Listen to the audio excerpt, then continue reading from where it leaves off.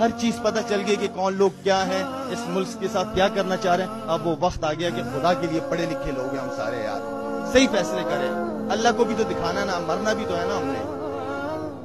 पूछा जाएगा, मज़े ले रहे हैं, बैठे हुए ना, मुझसे लाजमी पूछा जाएगा। इस दुनिया में नहीं तो ऊपर पूछा जाएगा याद रखना मेरी बात। तो जो करेगा, इस मुल्क के लिए करेगा उसको कुदरती तौर पे अल्लाह का ये निज़ाम है कि अल्लाह उसकी मोहब्बत लोगों के दिलों में डाल दे। मज़े ले रहे हैं बैठे हुए ना, उनसे लाजमी पूछा जाएगा, इस दुनिया में नहीं तो ऊपर पूछा जाएगा याद रखना। मज़े ले रहे हैं बैठे हुए ना, उनसे लाजमी पूछा जाएगा, इस दुनिया में नहीं तो ऊपर पूछा जाएगा याद रखना। मज़े ले रहे हैं बैठे हुए ना, उनसे लाजमी पूछा जाएगा, इस दुनिया में नहीं तो ऊपर पूछा जाएगा याद रखना। नौ, दस साल का था तो मैं बिस्तर पे लेट के उनके मेरे कमरे में दीवार पे उनका पोस्टर लगा हुआ होता था और मैं उनकी तरफ़ बनने की कोशिश करता था कि मैंने इनकी तरफ़ बनना, मैं ख्वाब देखा देखता था तो इमरान भाई को ख्वाबों में देखा करता था।